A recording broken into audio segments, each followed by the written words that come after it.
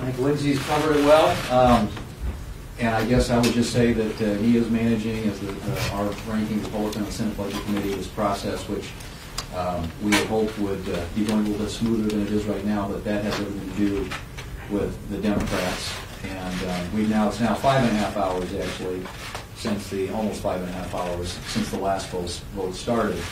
Uh, And because there was an amendment that we were prepared offer that actually had bipartisan support, the Democrats have uh, gone back uh, behind closed doors, and as uh, Senator Graham pointed out, tried to get the president on the line to pressure um, a couple of people uh, not to work with Republicans. And on an amendment, frankly, that saves $100 billion and makes a lot more sense when it comes to policy. So we're, uh, we're stuck right now where we are, and, um, and I hope this is not a sign of things to come.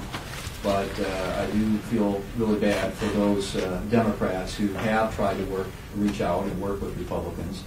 Uh, There was an effort made, I think, as you know, early on, uh, there were a number of Republicans who came up with a proposal that's significantly smaller in terms of its overall price tag than the one we're debating today, but at a size that uh, most analysts and economists uh, now believe is much more aligned with what the need is out there.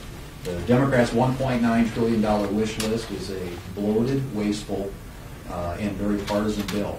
And it's really unfortunate at a time when uh, a president who came into office suggesting that he wanted to work with Republicans and, and uh, create solutions in a bipartisan way and try and bring the country together and unify, uh, the first thing out of the gate is a piece of legislation that uh, simply is uh, done with one-party rule, without, you know, consultation with Republicans or consideration of our ideas, um, and, uh, and a huge price tag, $1.9 trillion, with lots of goodies in there for Democrat special interest groups. We think that's uh, really unfortunate, and uh, as I said, hope it isn't a sign of things to come, because I do believe that Republicans are here to try and solve problems for the American people. And dealing with this pandemic is problem number one. But dealing with problem number one means vaccines, it means distribution of vaccines, it means helping frontline healthcare providers.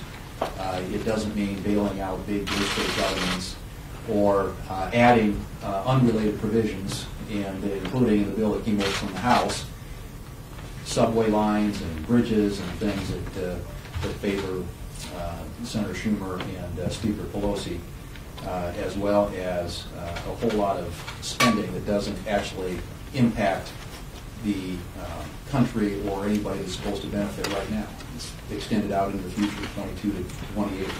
Uh, 95% of the money that goes to the schools doesn't get spent this year, it gets spent 20, 2022 to 2028. It's hard to argue that that's a really emergency. So we're going to do everything we can um, to try and improve this bill. We hope that the Democrats will let us vote on the Portman Amendment. The unemployment insurance is an important issue, but one that needs to be handled in a way that encourages people to go back to work, where we can get this economy opened up and creating jobs again. And uh, I think the Democrat uh, legislation uh, works entirely against that, but um, we will be here uh, as long as it takes to try and get our amendments debated and voted on to try and improve this bill, make it a better bill for our country. Senator Blunt.